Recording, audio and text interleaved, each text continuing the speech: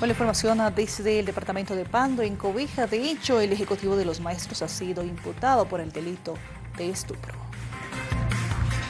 El Ministerio Público imputó al Ejecutivo de la Federación de Maestros Urbanos de Pando, Ariel Sánchez, por el presunto delito de estupro contra una estudiante y solicita a la autoridad jurisdiccional su detención preventiva en la cárcel de Villabuch. Un delito que están haciendo con los menores y se, está, se hizo el pedido y también hice un pedido a la, al Ministerio de Educación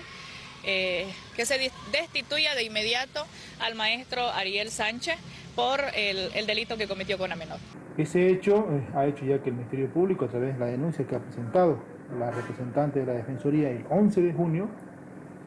eh, el Ministerio Público activado ha dispuesto de que el médico forense pueda revisar a la menor y se tiene la evidencia se tiene el informe de la psicóloga también, donde claramente establece la menor de qué es lo que ha ocurrido. Según la denuncia, el hecho sucedió el pasado 7 de junio en el domicilio del profesor Ariel Sánchez, de 37 años, quien habría invitado a la estudiante para ver televisión. Sin embargo, en el lugar, con una serie de argucias, la convence para tener relaciones sexuales. Estamos pendientes de que el juez eh, nos convoque a la audiencia para que el Ministerio Público pueda sostener esta imputación y sostenga el delito de estupro, toda vez que se trata de una niña eh, menor de 15 años y cometido por una persona de 37 años de edad.